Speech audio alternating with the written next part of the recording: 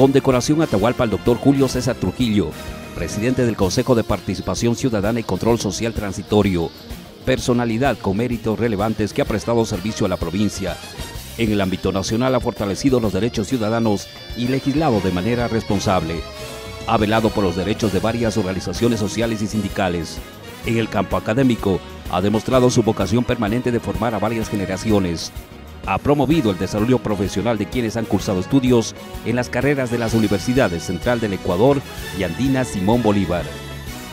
El consejero provincial, abogado Gustavo Pareja Cisneros, entrega esta condecoración.